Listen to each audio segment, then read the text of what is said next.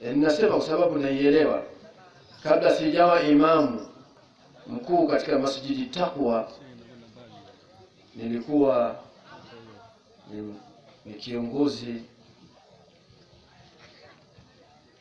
ni mlezi. Kwa hiyo nawaomba tu tushirikiane, tuwe wamoja.